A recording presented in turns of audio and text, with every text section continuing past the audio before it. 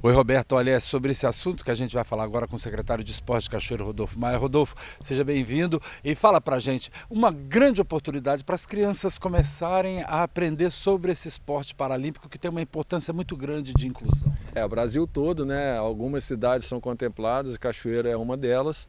É, porque a avaliação ela muito, foi muito bem feita, né? Então assim a gente tem essa preocupação de atender e demonstrar o que, que é a atividade, a, a modalidade paralímpica. Mas, é, e não é a primeira vez que Cachoeiro é selecionada, né?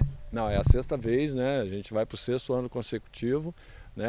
Os professores que estão à frente com os profissionais, estagiários, então a gente tem um, um grupo muito grande, né? Para dar uma qualidade muito boa para essas crianças.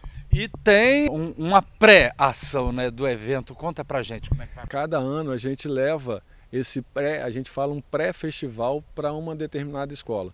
Esse ano a gente vai fazer na sexta-feira, dia 20, na Escola Julieta, lá no, no Zumbi, uma ação com os alunos. Então a, as atividades que a gente vai fazer no sábado, a gente vai fazer na sexta-feira com esses alunos da Escola Julieta. Vamos falar, vamos convidar o pessoal de casa. Onde vai acontecer o evento no sábado? Quem é que pode participar? Qual é o público-alvo? Conta tudo para.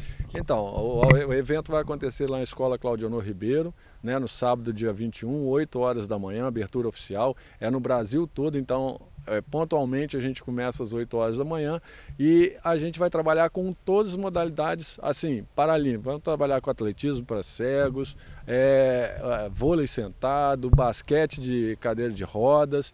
E você, criança, adolescente que queira vivenciar essas atividades, estão convidados. Pois é, então você viu aí, né, Roberta? Tá todo mundo convidado para esse evento que acontece agora no próximo sábado, a partir das 8 horas da manhã. E queria agradecer mais uma vez ao secretário e dizer que na sexta-feira também tem evento paralímpico esportivo, né, para poder conseguir atingir mais ainda crianças e adolescentes. É, voltamos aos estúdios com você, Roberta.